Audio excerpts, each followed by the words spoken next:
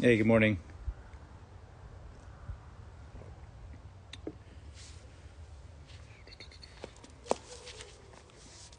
Felt led to do a, a quick message. It's not quick, it's probably going to be a lot of scripture and ranting on my behalf, but um, pay attention to what the Word of God says, not what the person adds to it. If it's something that's helpful, then hallelujah, praise Yah. So, hope everybody's having a great morning. Um, everybody's dealing with different things, right? So there's gonna be people who are dealing with hardships right now. You know, pray for them, help them. Um, you're gonna be people who are excited because they got some good news about something. Rejoice with them, and um, you'll see that in the book of Romans, chapter 12. Rejoice with those who rejoice, and you know, weep with those who mourn, sort of thing. So, um, I put a title on here, you know, tongue in cheek, but I think it's important, especially right now, election integrity. Okay. What does it mean? I guess I'm learning right now as I'm speaking, but election integrity to a lot of people in America right now, um, it means that you want to make sure that the votes are counted properly in an integrous way so that we make sure whoever you voted for that that vote counts. And uh, when we have integrous elections, then the will of the people is that the person that they've selected or elected uh, will be that person. So a lot of people are up in arms about um, the American election right now. I understand it. I get bombarded with um, uh, pamphlets in the mail all day, you know, every day, two, three a day, um, and uh, um, social media, right? Ad after ad after ad. If you happen to turn on a television, you know, to just whatever, put a, a YouTube video on, even if you're watching one that has like healing music or something like that. Um, it'll inter- interrupt with ads about the election. So it's top of mind for everybody because that's what you know they they want us to be thinking about and um, arguing about. Um, so election integrity, from that perspective, I'm going to share with you some verses in the scriptures that I think will help you if you're a believer and you're confused about what's going on. Um, that you'll realize that the election integrity that they're trying to promote it doesn't matter. What matters is the the election the people of Yah and their integrity. Okay, so election integrity. So my hope is that the people of, of God who are, you know, understand who you are in Messiah, right, in Christ, as a, a follower of the way, the truth, and the life, those who uh, have a new heart, they love his law, but they're in the diaspora, if you will, we'll call it the, the, the land, outside the land, and you're trying to do the best you can to make the best decisions that are right and in the will of God. Okay. Um, so let's dive in. I'm going to go through some scriptures. My hope and prayer is that it connects the way I believe it was connecting this morning for me as I was reading it, and that it will bring light to the situation that you're in, um, or maybe you can help others who are in darkness, who have fear, and all these other things that are going on in their lives. Okay. Um, Romans 13 before I start, people who who um, are very indoctrinated into political theater, theater, they are going to um, say Romans 13 is not doesn't really mean what that says, okay? Or it was added by the Catholics so that they could control the people, okay? Um, I believe it's part of the the book of Romans, 13th chapter, and I think it, it means what it says, but it can be confusing, just like some scriptures if you don't reconcile the discrepancies that are apparent, um, then you will mis- be misled, which you'll see all throughout uh, denominational teachings, right? They'll take tongues, they'll take um, communion, they'll take um, um what there's like rapture, stuff like that. They'll take three or four verses, slice them up, and say that's what this means. So everyone's guilty of that. I've probably done it too. So yeah, forgive me. Romans 13. Let every person submit himself to the governing authorities, for there is no authority except from God, and those that exist are put in place by God. Okay, so let's say, oh, that's just the church authority or that's the, the government.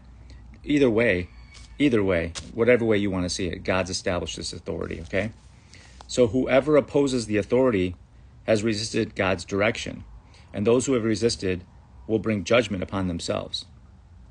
For leaders cause no fear for good behavior, but for bad. Now, if you do not want to fear the authority, do what is good, and you will get his approval, for he is God's servant to you for your good. But if you do evil, be afraid, for he does not carry the sword for no reason, for the for he is God's servant, an avenger who afflicts punishment on the evildoer. Therefore, it is necessary to be in submission, not because of punishment, but also because of conscience. For this reason, you also pay taxes, for the authorities are God's servants, attending diligently to this very thing. Pay to everyone what is due to them, tribute to those who tribute is due, tax to whom tax is due, respect to whom respect is due, and honor to whom honor is due. Um, that was one through seven. Okay, let me stop there for a second. These verses in my flesh make me like angry a little bit. Why? It might do that for you too. Why would it make me angry that he's saying submit to an evil uh, servant governor? Because I don't want to submit to an evil governor. Now, there's people who will say do everything that that governor says, no matter what, because that's exactly what um, God put him in charge for. That's not the interpretation, okay? And Scripture proves that. Um, but before we move on, a lot of people would say, hey, there's people who are obedient people, right?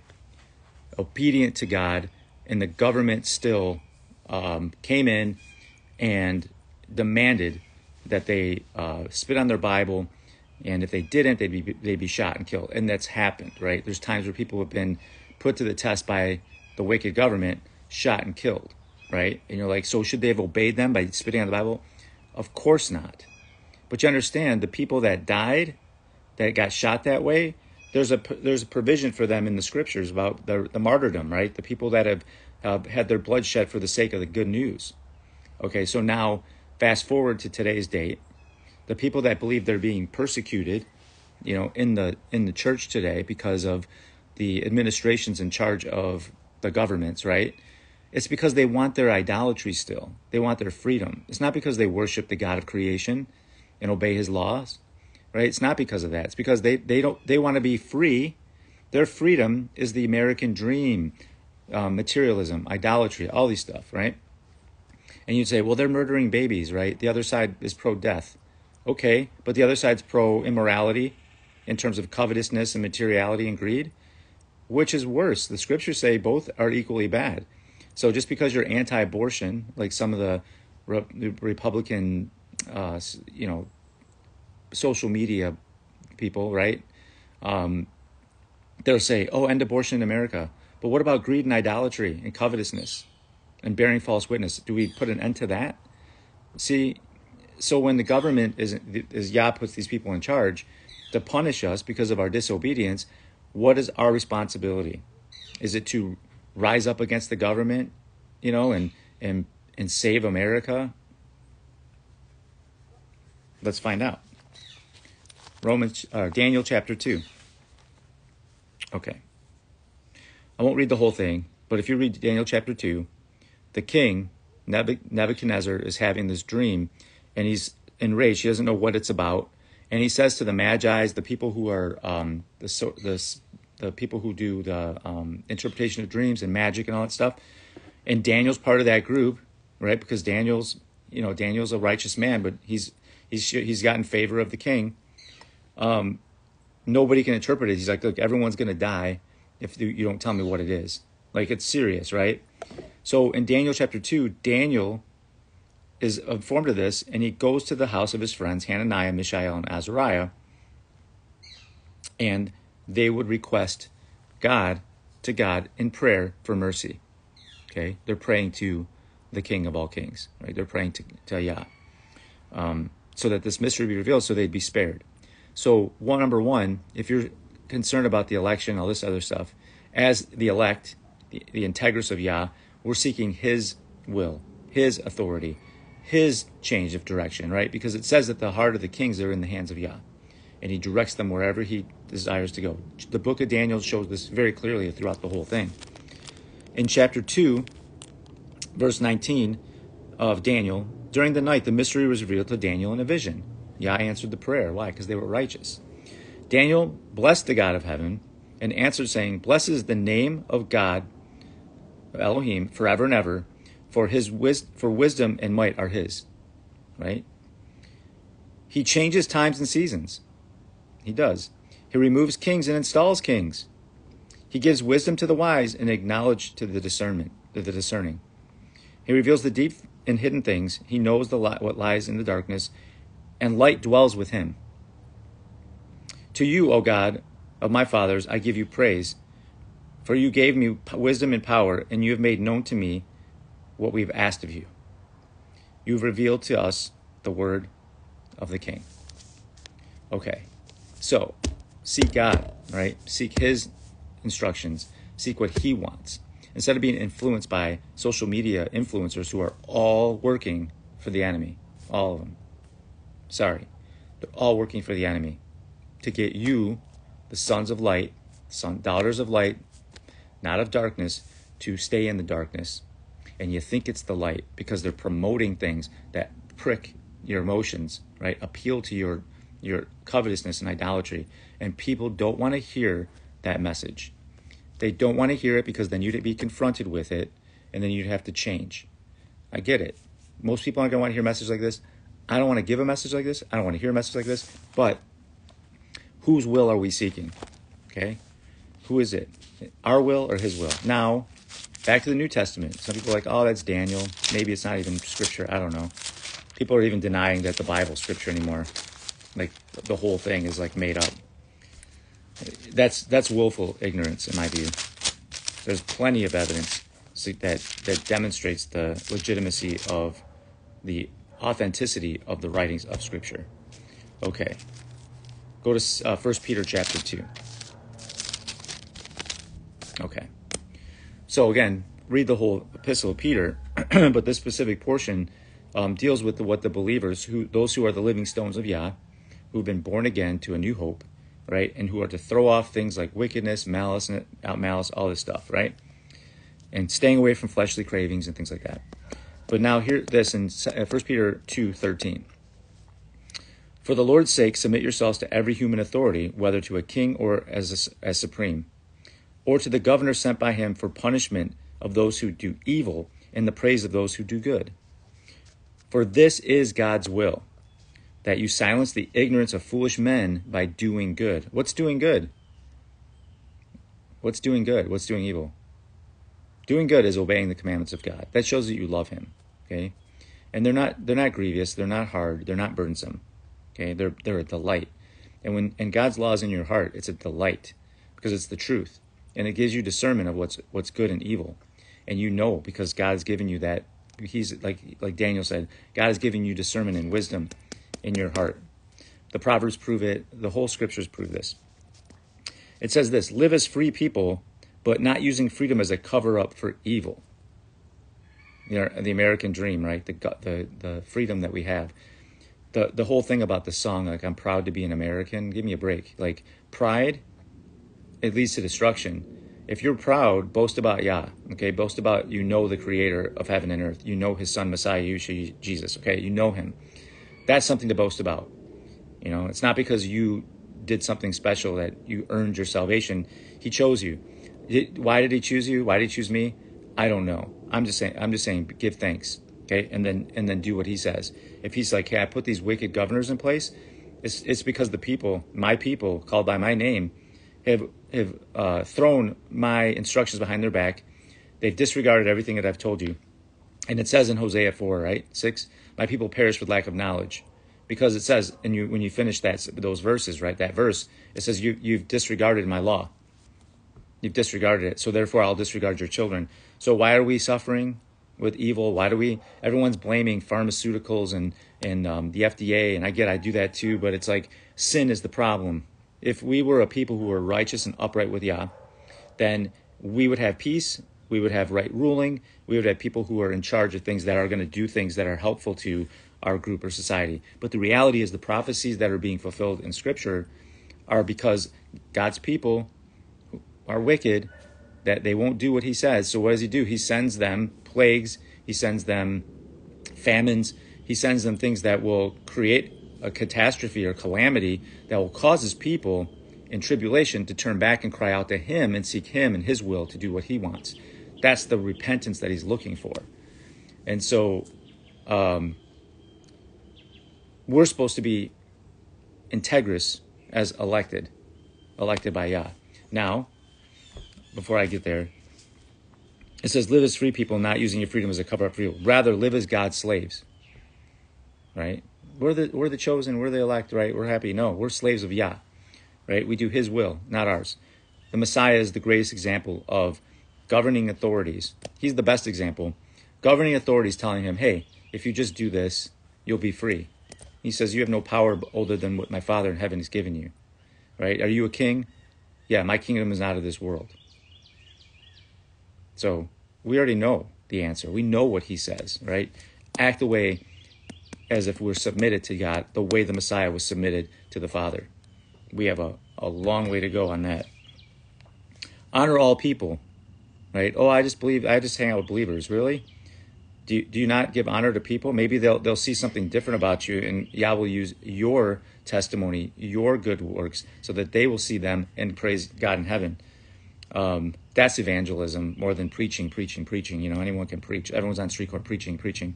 Are they reaching anybody? Only possible if God makes it, if Yah makes it possible. Love the brotherhood. Okay, so love your brothers and sisters. Fear God, honor the king.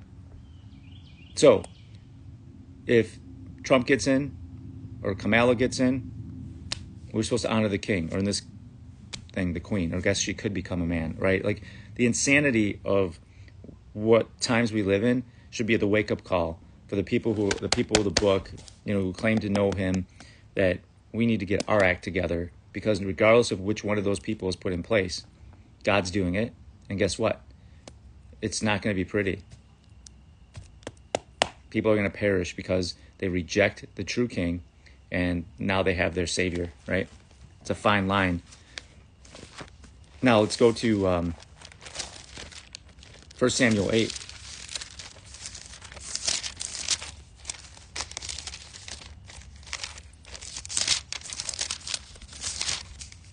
Okay.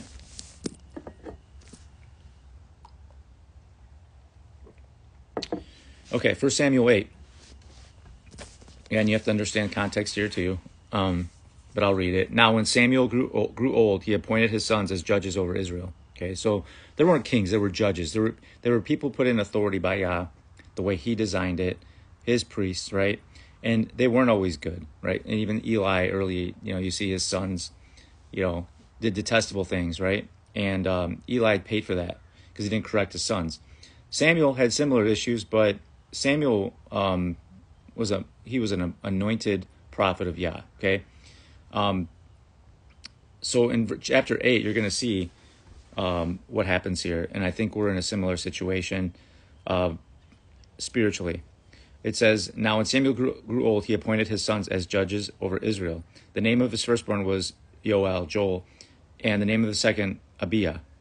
Um, they were judges in Beersheba, but his sons, however, did not walk in his ways, but turned aside for, after dishonest gain, they took bribes and perverted justice.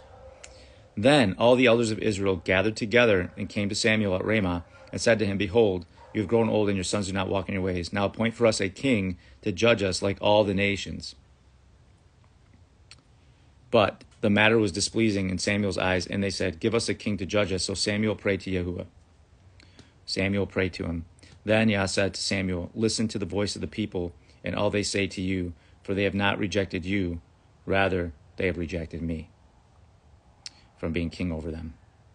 Like all the deeds that they have done since the day I brought them out of Egypt to this day, forsaking me and worshiping other gods, so they are doing to you also.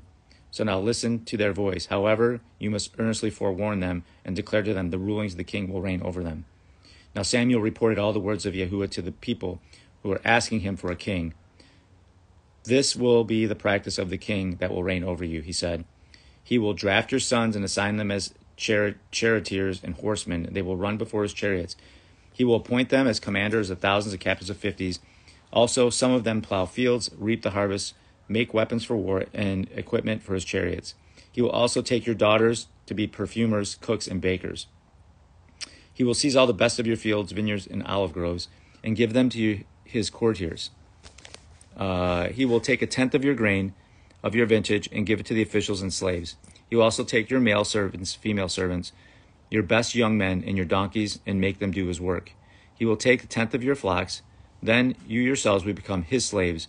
When the day comes, you will cry out because of your king, whom you, whom you have chosen for yourselves. Yahuwah will not answer you on that day. Okay, so he warned them, gave you a chance. Okay, but the people refused to listen to Samuel, and they said, "No, but a king should be over us, so that we so that we may become like all the nations, um, having our king who judges us go out before and fight our battles."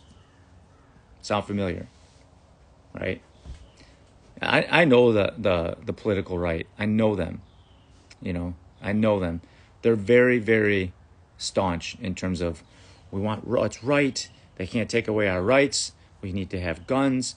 We need to have um, boys' bathrooms be separated, right? All right stuff, right? We, we shouldn't be dealing with that stuff. But there's a bigger spiritual battle going on here, right? So instead, of crying out to Yahuwah, our, our King, Yahushua, the Messiah, that come Yahushua, come, come Yeshua, right? We're going, oh, we'll have a, we'll appoint this guy. He's going to do our battles for us, but we'll submit to him as a slave. So people are going to even know this, just like they did in Samuel's day. God's telling you, okay, I'll give you a king. You're going to submit to him. You're going to be a slave, and the people are okay with it. They're just like, yeah, I mean, he's going to fight for us. After the, Samuel heard the words of the people, he reported them back to the hearing of Yahuwah. Yahuwah said to Samuel, Listen to the voice of the appointed king of the, and the, to reign for them. So Samuel said to the men of Israel, Go, each one to his own town. So you got Saul. How did that work out? Not well, right? Even David, he made some decisions that weren't so good. Um, we're going to have earthly kings, okay? But the part, the heart of the people, right? The heart of the people is what Yah is after and when he sees that the people, even though you're supposed to pray for your leaders, right? You're supposed to multiply in the land that you are, but how are you going to behave when you don't get the right leader? The one that you want, right? Everyone's going to freak out and fall into despair and all that stuff. Um, it's uh, it's unbelievable to me. Okay, so back to uh, First Peter two. I just want to read these couple words and then go off to a couple things that I think, in my view, it's just me, are pretty pretty awesome. Okay. Okay, for the Lord's sake, submit yourselves to every human authority, whether to the king or supreme or to governor sent by him for punishment to those who do evil and praise to those who do good. For it is God's will that you silence the ignorance of foolish men by doing good. What's God's will? Okay, God's will. Because I think everybody should be praying for God's will. I think that. Why? Um, Matthew chapter 6, our Messiah prayed, told us how to pray. Our Father in heaven, holy is your name. Your kingdom come, your will be done on earth as it is in heaven. Right? Your will be done. God's will be done. The Father's will be done. Okay, so that's his prayer. So I'm going to pay attention more spe- specifically to uh, the Messiah's prayer. Uh, yes. Thessalonians?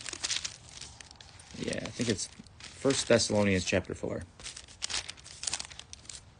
Okay.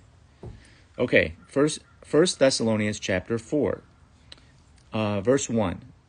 Finally, then, brothers and sisters, we ask you to appeal to the Lord Yeshua, Yeshua just as you received from us the way you ought to walk and please God.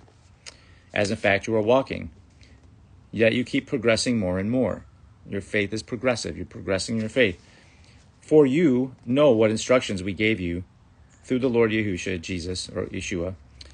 Uh, for this is the will of God. This is the will of God, your sanctification. What sanctification? Fancy word for being set apart. What's set apart? Being holy holy unto Yah, like set apart for Him, right? In the fire, right? The sanctif- the sanctification fires that Messiah gives us because He needs to burn off the useless shoots in our faith. He needs to cut it off, and we need to allow Him to do that. And we have a choice. We can either allow this and submit to Him and let Him change our walk, change us, which is God's will, you know, Messiah said it's not going to be an easy road that leads to life. It's going to be hard. If they persecuted me, they'll persecute you. They hated me, they'll hate you. If they put me to death, they might put you to death too. That's the that's the where the rubber meets the road for the believer. It's your sanctification. So what is the sanctification that that Paul is speaking out about in 1 Thessalonians 4? Abstain from sexual immorality. Okay, sexual immorality. So rampant, right? So easy to, to become sexually immoral in this world. Phones, right? Are you guarding your eyes? Are you what are you listening to? Because those are the things that are the windows to the soul, so to speak, and that's what your heart will start to do. The wickedness of your heart. If you fill it with God's word, his spirit, you'll be doing righteousness and people will think you're crazy and they'll hate you. They'll hate you not because of you, but because the the um, the righteousness within you, the light that's within you. That's the Messiah said.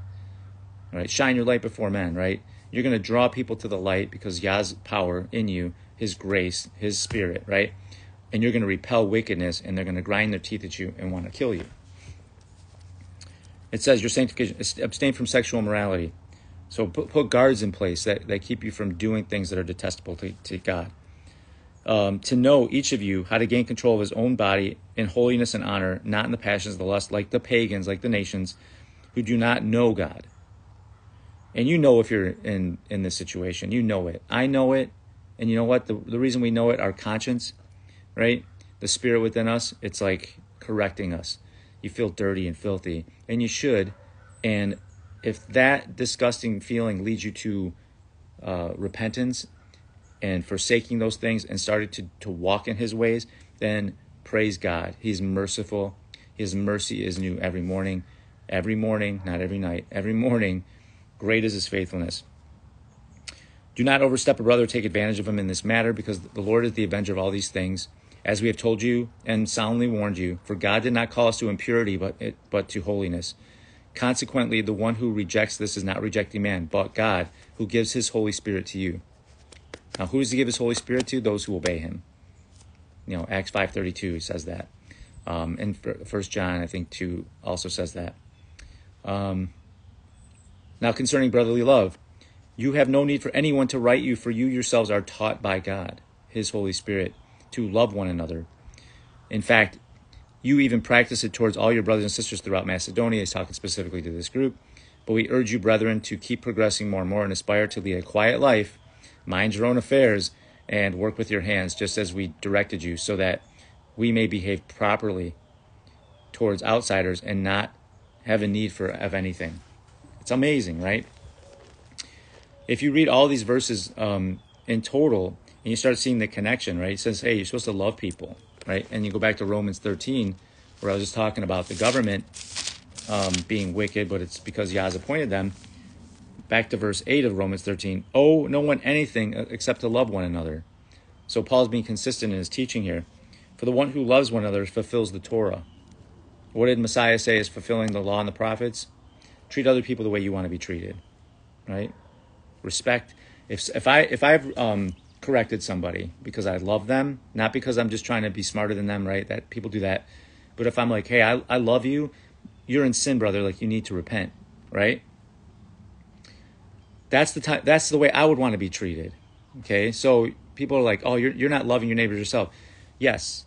And even these people who are politi- political people, right, in the on the they'll say the left side especially, um, love is love, right? And they have rainbow flags, which is an abomination um, to call it pride because the rainbow flag is the covenant of, y- of to his people that he won't destroy us by flood again, right? It's it's God's God's rainbow, and people are mad about that, right? The same people are mad about the rainbow being um, defiled. Don't give don't care about the Ten Commandments, right? All they care about is the the abortion one, right? Not about idolatry and covetousness and materialism. They care about the, you know, oh God's rainbow, right? He's not going to flood the earth again. Okay, um, but the love is love thing, right? It says love your look at this. They're using God's they're using God's holy word. Love your neighbor as yourself means all all people, right? Regardless of their lifestyle. Love them. But is love your neighbor as yourself meaning to accept wickedness into the camp so it could spread through the camp and destroy everything that God's trying to help build up within the community? No, it doesn't mean that. In fact, Leviticus 19, where love your neighbors yourself is the quote, It says to rebuke your neighbor frankly so that they don't suffer sin and do it without holding a grudge. So, yes, Romans 13, don't owe anybody anything except for uh, loving one another. And you fulfill the Torah when you do this. Messiah says in, in Matthew 7 12, right? He says, Love your neighbor as yourself. He says, um, He doesn't say it there. He says in Matthew 7, this is the, the, the fullness of the Torah, right? This is fulfilling the Torah, right? The golden rule, if you will. Um, love love each other, right? Love love one another. Let me read it. I'm um, sorry. I know I should memorize it. It says, uh, verse 12, So in all things, do to others what you'd want to do unto them. For this is the, the law and the prophets. That is the law and the prophets. Okay. Um, okay, Romans 13, 8. I just read that. Now, verse 9.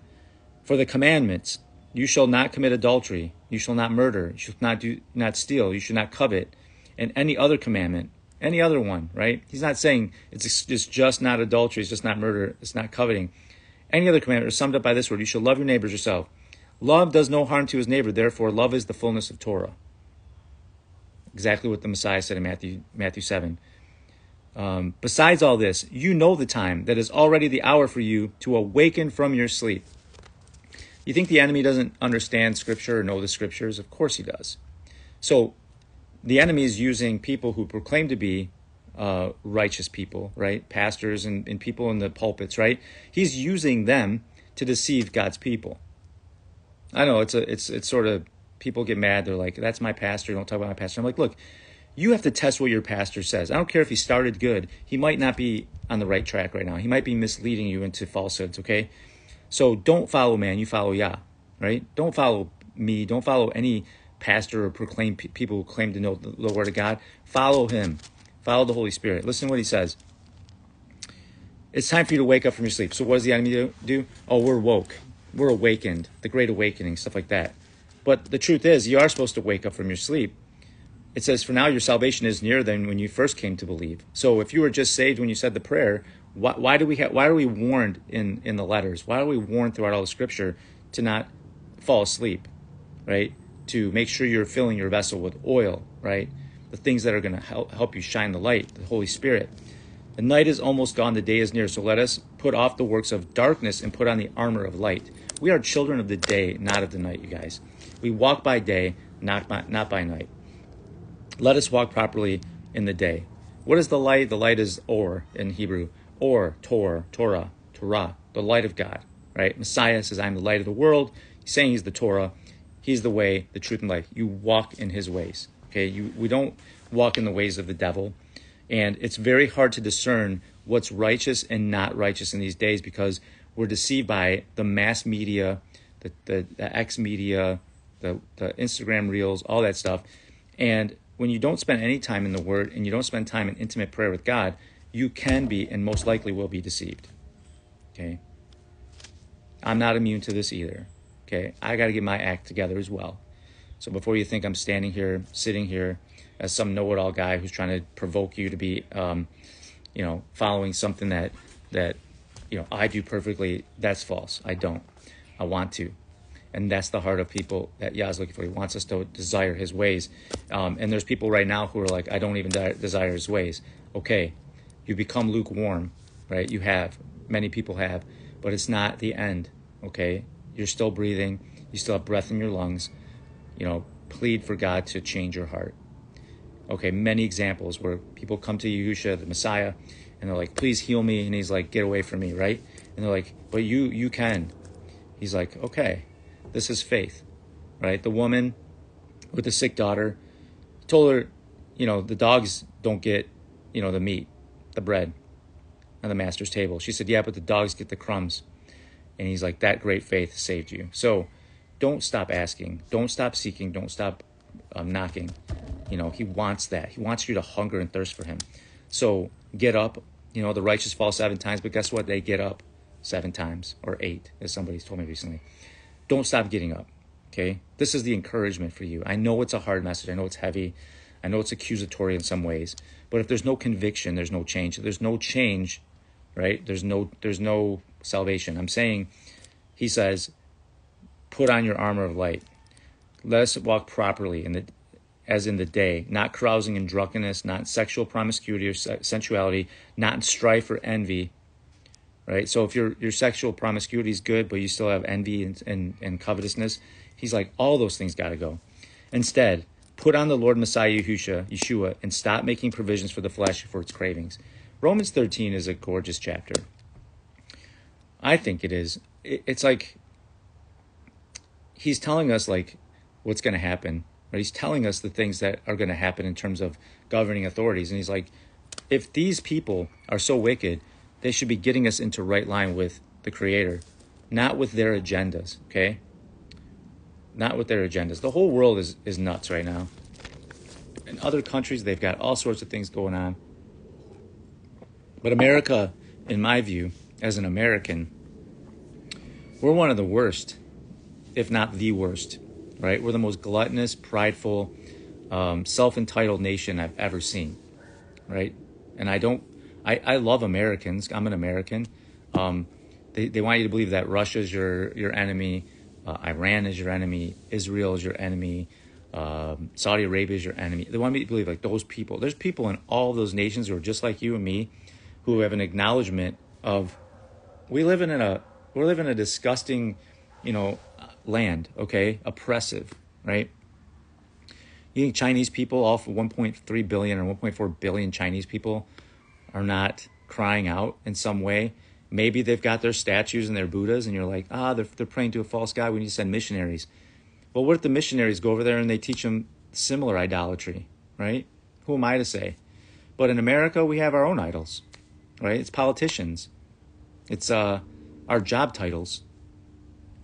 It's our family, our, our congregations that we go to. It's, you know, I can't leave my congregation because, you know, like, I don't know, like I've left them and I'm not boasting about leaving them. I'm saying I got to do what God tells me to do. I, I really have to listen to him. And why is that? Now, here's the, the main message Matthew 7.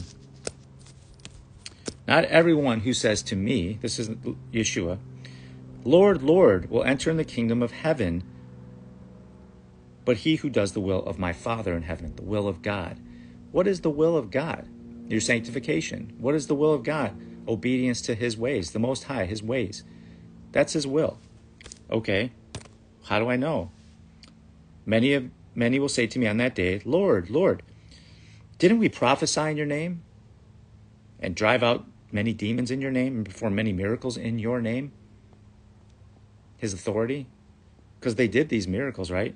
Then I will declare to them, I never knew you. Get away from me, you workers of lawlessness. So I'm learning so much through this, even now. There's going to be people who will be able to cast out demons in his name, and it will be legit. But those people who were doing these things, they did them in vain. They did it in their own, their own, their own. They took pride in these things because they're even saying, "We did, we did, we did." He's like, "You didn't do anything." They're not giving honor to him, but he says lawlessness. That is void of God's law. If we are making disciples today, if we're making disciples, right? Um, they're students.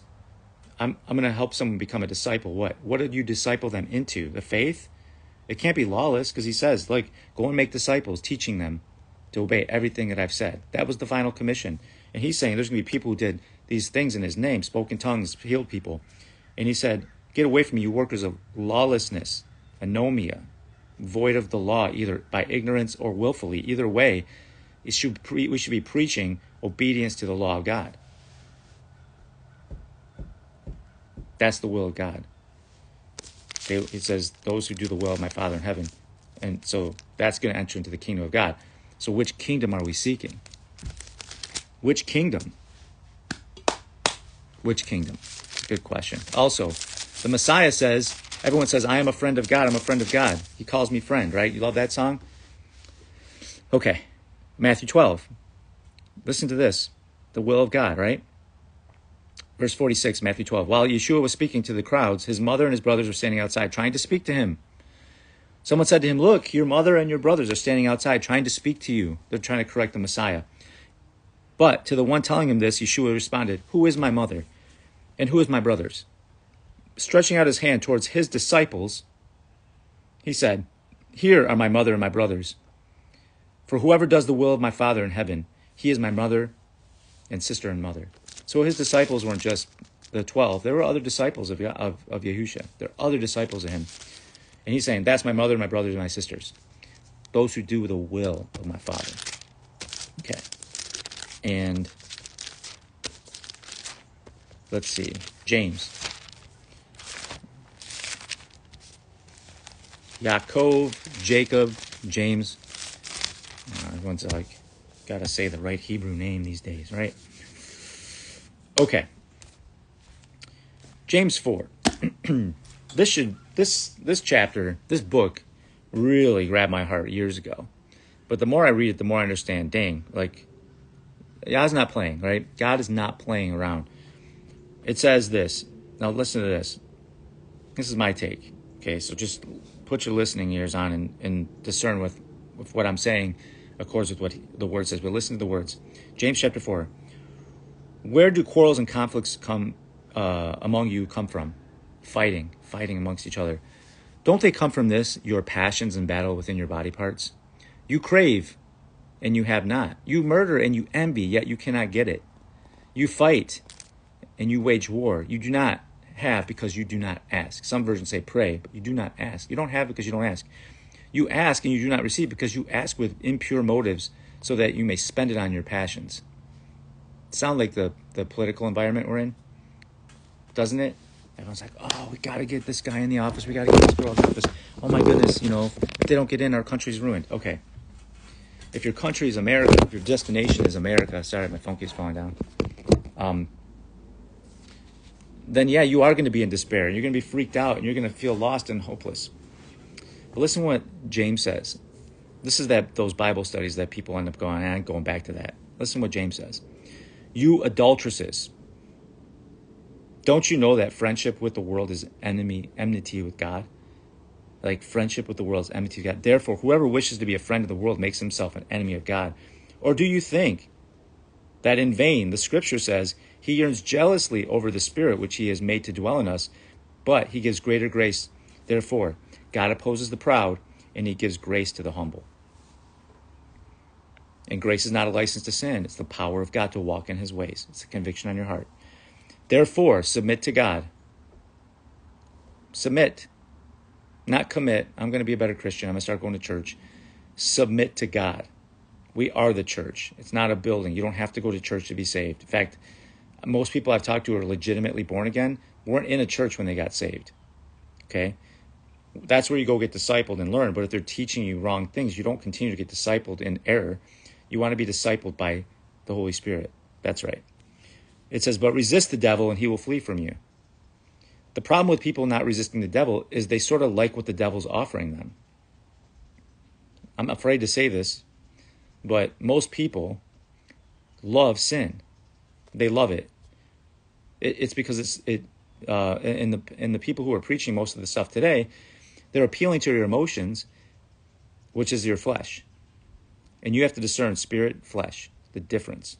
Even the Messiah said this when before he was being executed. He said, "The spirit is willing, the flesh is weak." And we think we got this figured out. No.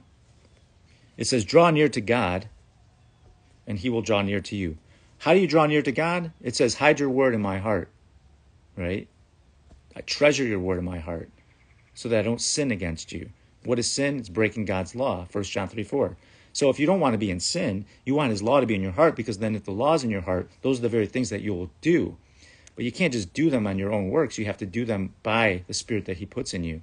If he doesn't put the spirit in you, then those dead works are in vain. You need his Holy Spirit. That's why he says he gives the Holy Spirit to those who obey. There's a process. It's a process, right? Do we fear God or do we fear man? Draw near to God and he'll draw near to you. And again, the, this is direct. Most people, including my flesh, myself, we don't want to draw near to God because he might point some things out that are going to have to, we're going to have to change in our lives. And then we have a decision. If we reject it, just like the rich man, I do all these commandments. He says, yeah, but you have one thing. You know, sell all you have. You're rich. Give it to the poor and then follow me. He couldn't do it and we rip on that guy. But guess how many people could do it? What if he what if he came right to your face and said, "Sell everything you have, follow me"? Could you do it? Lament mourn and weep. Let your laughter be turned into mourning and your joy into gloom.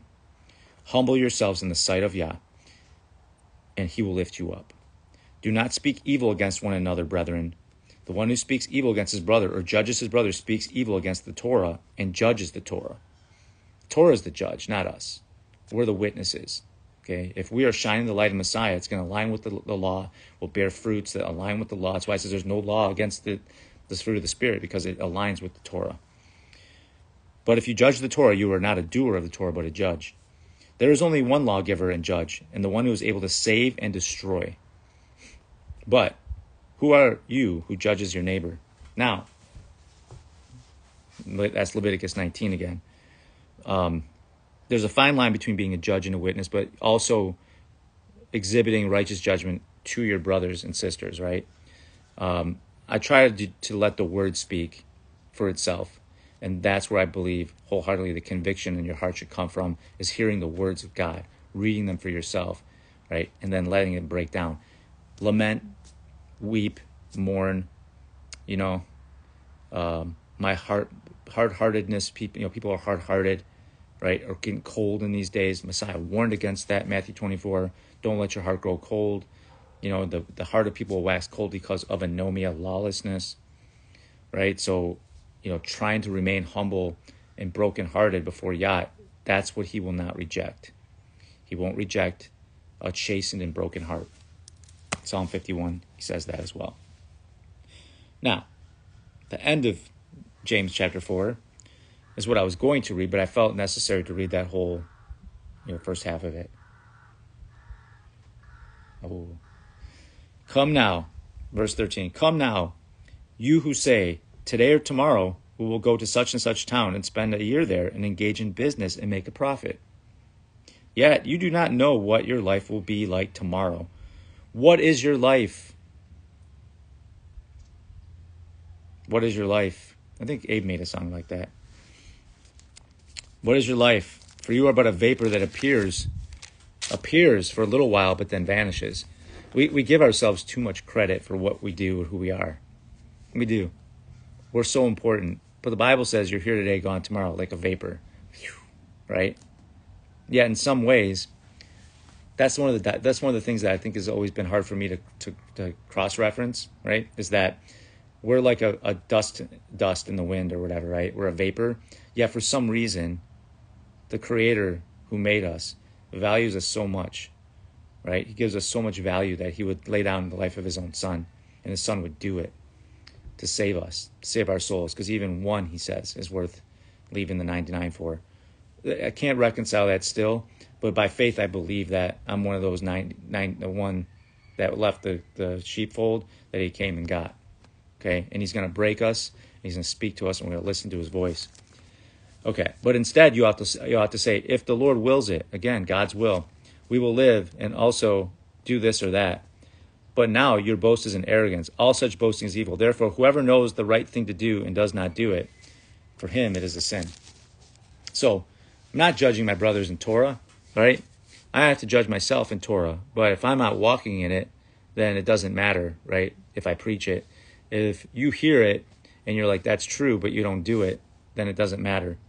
But your conscience, you know, now that you've heard the word of Yah, now that you understand it, you are responsible for it. If you sin, it's by your own fleshly passions and desires. That's why we're supposed to put him to death. Okay, now James 5 goes into the, the fact that the wealthy people of this world, which uh, obviously America, we think we're rich, but we're poor, naked, pitiable, broken, all those things, right?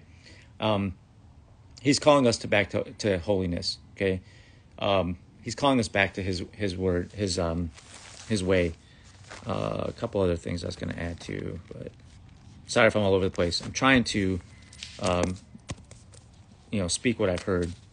I took a couple notes here, so. Okay. So John 5.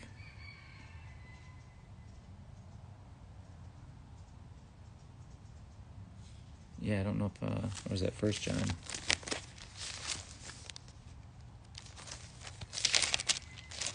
Bear with me, guys. Sorry.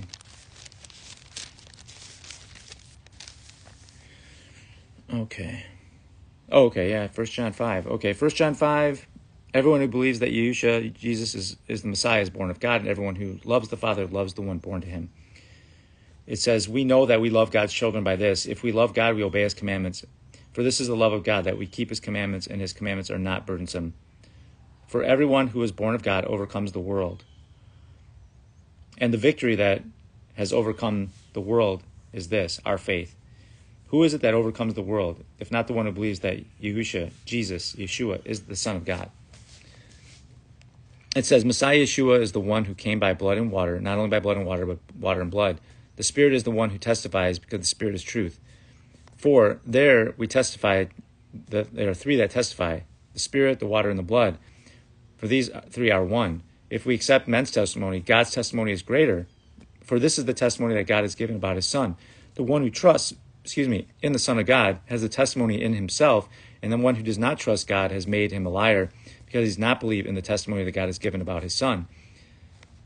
And his testimony is this God gave us eternal life, and his Son is, and, and this life is in the Son. The one who has, uh, the Son has life. The one who does not have the Son of, of God does not have life. So don't deny the Messiah, you Torah keeper people. Please understand this. The Torah didn't save you. It just shows you where your where your sin is. The Son of God laid down his life.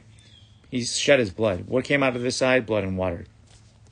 The Spirit testifies, right, to these things. So there's a lot of depth to these these sort of things. I'm not going into that because I don't think it's profitable at this point. Listen to what he says there here in verse 13. 14. I wrote these things to you who believe in the name of the Son of, of, of God, so that you may know that you have eternal life. Now, this is the confidence we have before Him, that if we ask anything that accords with His will, He hears us. And if we know that He hears us, whatever we ask, we know that we have the request we have asked from Him. If anyone sees his brother committing sin not leading to death, he should ask, and God will give life to those who commit sins not leading to death there is a sin leading to death. I'm not saying you should ask about that. All unrighteousness is sin, but there is sin that does not lead to death. Okay, that's huge too.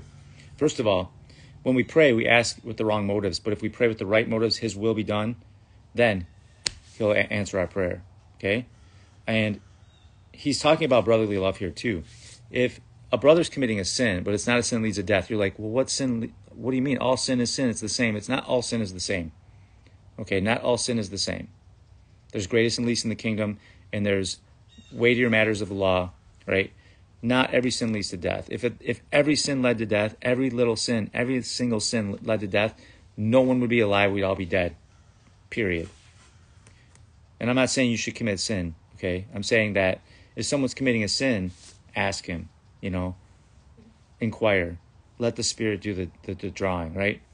But listen to this. I think this tells us what the, the sin that leads to death is. We know that anyone born of God does not keep on sinning. Rather, the one born of God keeps him safe, and the evil one cannot touch him. Protection, right? talk about election, right? We talk about election, selection, correction, defection. How about God's protection? Evil one can't touch you. If you're an in sin, the evil one can touch you because you're making yourself available to him. We know that we are of God, and the whole world lies in the power of the evil one. And we know that the Ben Elohim, the Son of God, has come to give us insight so that we may know him who is true. And we are in him who is true, the Son, Messiah Yeshua. This one is the true God, eternal life. Last verse, 1 John 5. Children, guard yourselves from idols. Sin leads to death. I think it's idolatry. You may differ.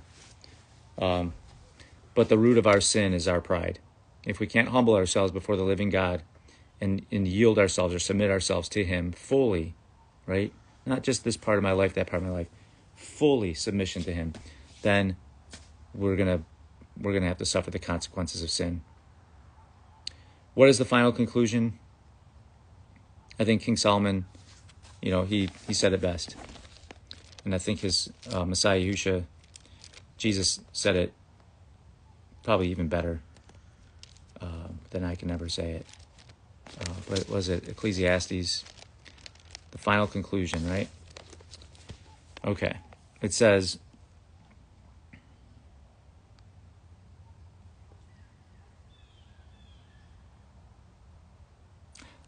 I'll, I'll read it. I was just trying to figure out. I know there's two verses in, in Ecclesiastes, but I'll read three. Be warned, okay, this is uh, Ecclesiastes 12, 12, 13, and 14. Be warned, my son, of anything in addition to them. There's no, ext- there's no end to making many books, and the excessive study wearies the flesh. Everyone wants to know what book to read, what book to read this book, okay? It, it makes you weary. The flesh makes you weary when you excessively study other books. Listen to this. The final word that we've been heard, that we've heard, fear God, keep his commandments.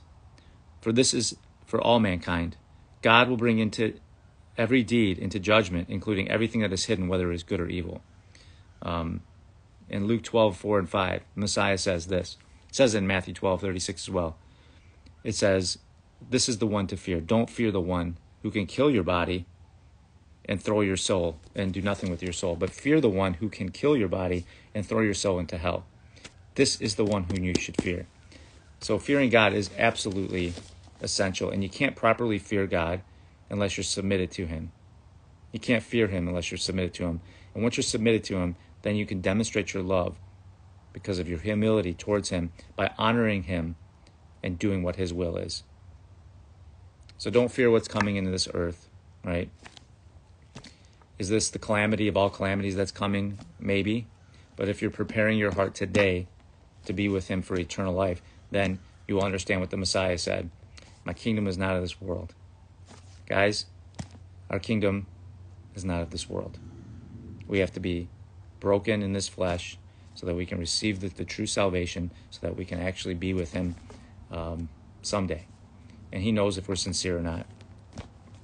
God bless you guys. I hope you have a great day. In the mighty name of Yahusha, Jesus the Messiah. Amen.